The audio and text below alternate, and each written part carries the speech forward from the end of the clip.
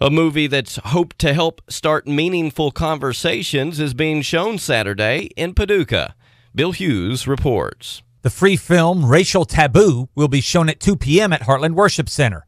The film was directed by Brian Grimm several years ago as he came to terms with his own feelings about race issues. Beth Kadim of Paducah's Racial Unity Group, which is showing the film, says that until recently, Grimm thought all people should find a way to pull themselves up by their bootstraps. When he realized that that kind of thinking presumed that the playing field was level for everyone, and then realized that it was not, it really flipped his thinking. Group member Brad Holland added that the movie helps break the ice so everyone can get rid of preconceived notions about one another and real conversations can happen. Reverend Reynaldo Henderson said over the last two years, folks in the group have moved from being acquaintances to being friends, which makes it easier to talk about difficult things. Though you may not say a certain thing the right way, that other person knows your heart. They know what you're trying to say.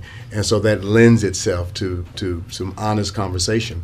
If we're talking about making our communities better, this is a good place to begin. After the film, there will be an opportunity to stay for about an hour of conversation. I'm Bill Hughes.